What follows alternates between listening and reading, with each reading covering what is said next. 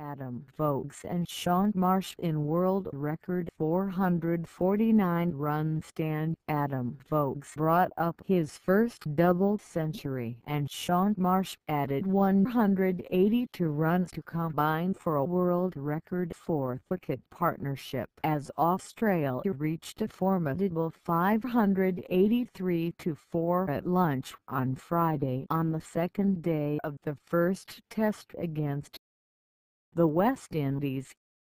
The 36-year-old Voges went to lunch on 269 not out after he and Marsh shared a 449-run stand that eclipsed the previous fourth-wicket world record of 437 set by Sri Lanka's Mahela Jayawardene and Thilan Samaraweera against Pakistan in Karachi in 2008.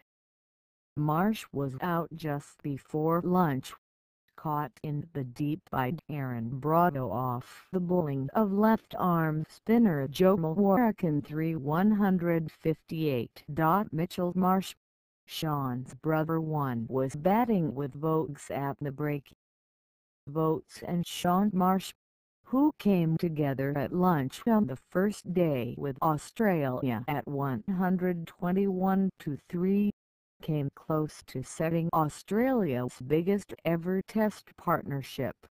451 for the second wicket by Don Bradman and Bill Ponsford against England at the Oval in 1934. Voges' double century also set the highest score in the Hobart Test overtaking Ricky Ponting's 209 against Pakistan in 2010.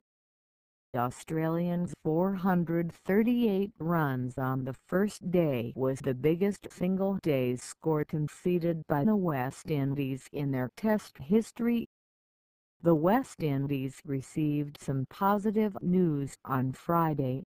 Scans cleared Shannon Gabriel of a left ankle fracture but the fast bowler will take no further part in the Hobart Test and possibly the Tour. Gabriel, who left the pitch during the final session Thursday, was seen walking with the aid of crutches at the ground on Friday.